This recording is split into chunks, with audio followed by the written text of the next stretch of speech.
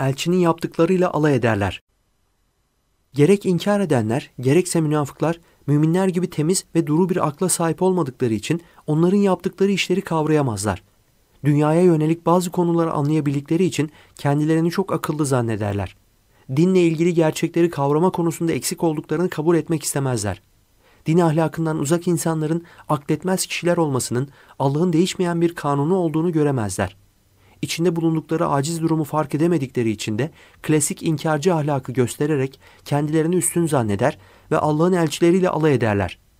Kur'an'da bunun örneklerine sıkça rastlamak mümkündür. Örneğin Şuayb peygamber aleyhisselam gönderildiği kavmi yaptıkları kötü işlerden men ettiği zaman onların şiddetli tepkisiyle karşılaşmış ve alaylarına maruz kalmıştı. Aslında kendi kavmi de Şuayb peygamber aleyhisselamın güzel ahlaklı bir insan olduğunu çok iyi biliyordu.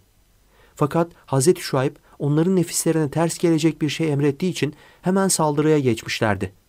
Alay konusu edindikleri şey ise peygamberin Allah'a ibadet etmesiydi.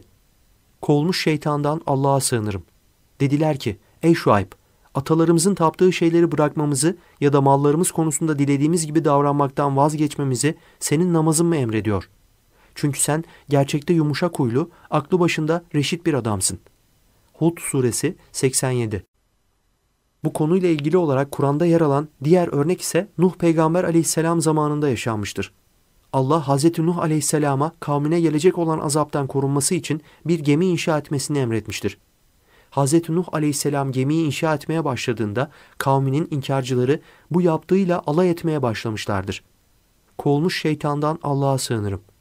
Nuh'a vahyedildi. Gerçekten iman edenlerin dışında kesin olarak kimse inanmayacak. Şu halde onların işlemekte olduklarından dolayı üzülme. Bizim gözetimimiz altında ve vahyimizle gemiyi imal et. Zulmedenler konusunda bana hitapta bulunma. Çünkü onlar suda boğulacaklardır.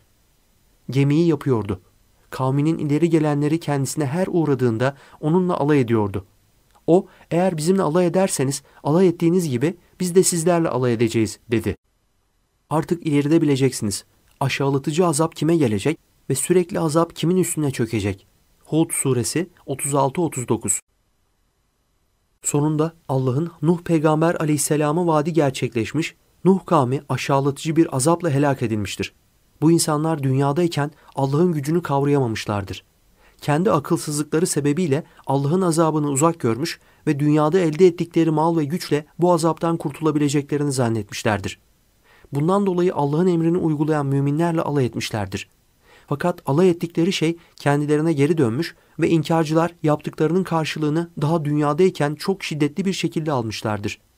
Bir de kendilerini bekleyen ahiret azabı vardır ki Allah ahiretteki azabın dünyadakiyle kıyaslanmayacak kadar şiddetli olduğunu Kur'an'da pek çok kez haber vermiştir.